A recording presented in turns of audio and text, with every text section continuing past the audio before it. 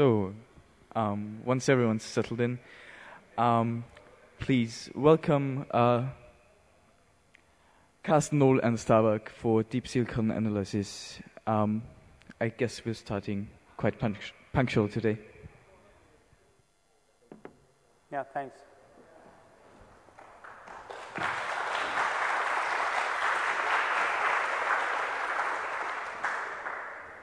Good evening. Thanks for joining us for a little discussion on how to subvert hardware security best and how to do other fun stuff with hardware as well. Um, hardware defined as silicon chips, any microcontroller, microchip you can think of. Um, let me introduce Starbuck to you, notorious biometrics fingerprint hacker, as well as microchip hacker as of a few years. Um, I'm Karsten, doing microchip hacking as well with Starbuck, more on the cryptographic side though, which is where I'm coming from. Um, we're both at the CCC in Berlin at the moment and also interested in consulting if there's any um, industry need in, in secured analysis of these kinds. Um, we'll be talking about how to reverse um, hardware. And let me start with an analogy, an analogy to software. So everybody here is probably aware of the process in which software is created, uh, where a designer starts by programming source code, and then that source code is being compiled into a binary that is composed of assembly instructions, which in turn are composed of bits there is a reverse mapping from these bits and instructions back into a domain that we could understand that is um, a disassembling tool. Um, so this design process goes both ways, and everybody who's, in, in uh, who's working in security is aware of the fact that um, especially the reverse way is very important to do security analyses on other people's designs where they don't openly share the source code.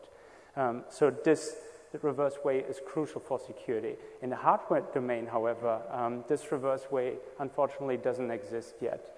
Um, there is a similar design process in which a designer creates some source code in different programming languages, but still pretty much just um, hacks the design into a computer and then compiles it with a place and route tool um, into an actual chip that is being built from, from logic gates which in turn are built from transistors.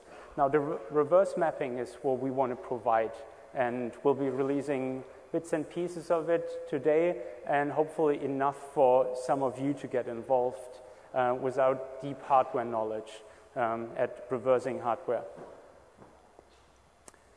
The process that we'll be explaining throughout the talk um, has the following steps we start with um, a silicon chip, really any microcontroller um, or, or um, smart card chip, for instance, um, will take off micrometer by micrometer off this chip to take pictures then with a, an ordinary microscope. We'll stitch those pictures together to have basically a floor plan of the chip. That would be the equivalent of your, of your binary um, we'll use this, these chip images then to, to find instructions or what we call logic gates using pattern recognition and also the connections between these instructions, what in a software world will be the control flow. Um, finally, we'll try to interpret what these, what these logic gates mean and, and what algorithm is meant to be implemented using those circuits, right?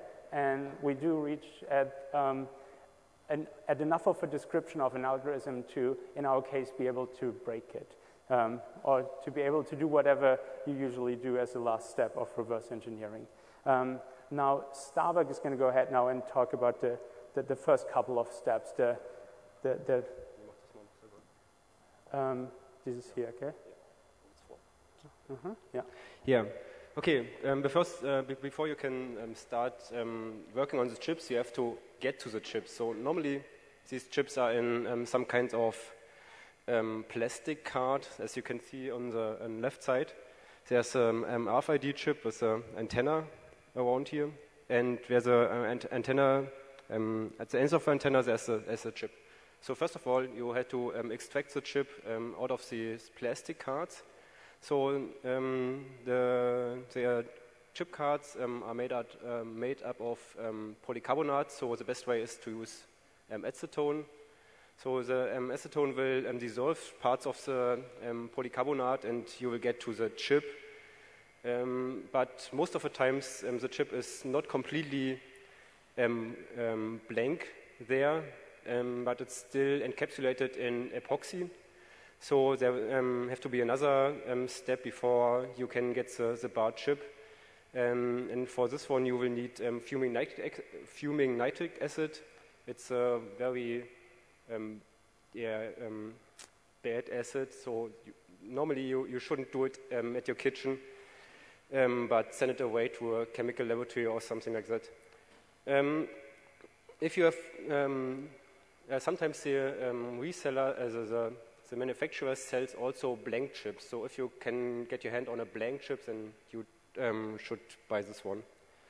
So to understand the, the next um, steps on, this, on the next slides, first of all, how does a, such a chip look like? And we start on the, on the bottom, it's a um, bar silicon um, wafer. And on top, um, it begins with a um, transistor layer. So there's a, a gate, um, source, and drain over here. And those um, transistors are connected on higher level, on higher layers, calling the metal layers, with metal, yeah, metal wires.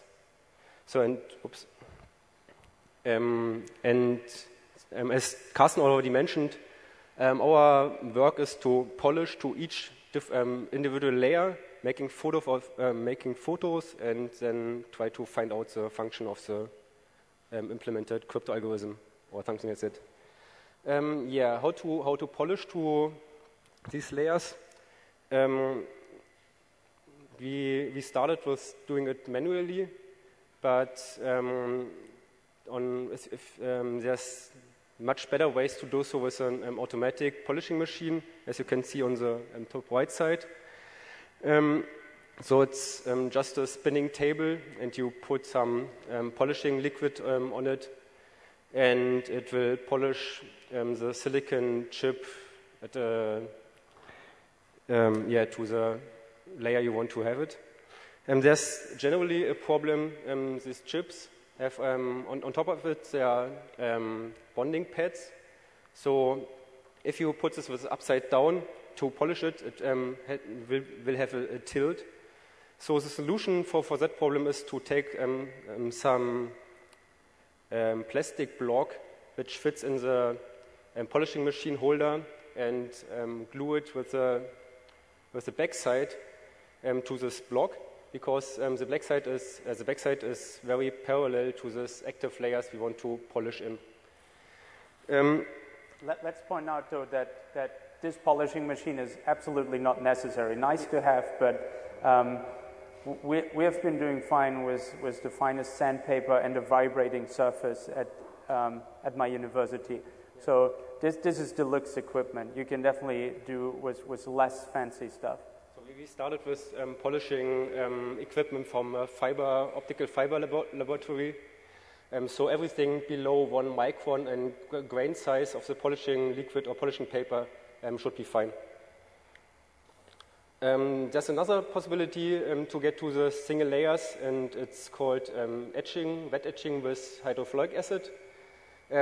but it's mm, the, the hydrofluoric acid will go to the silicon dioxide, which is um, an isolator um, between each layer. But as you can see on this picture, there's a little problem um, to exactly get to, um, or to, to, get to one exact um, layer. So normally you will dissolve um, some parts between layer 1 and 2 and between layer 2 and 3. So you don't have a complete layer um, etched away. Um, so um, hydrofluoric acid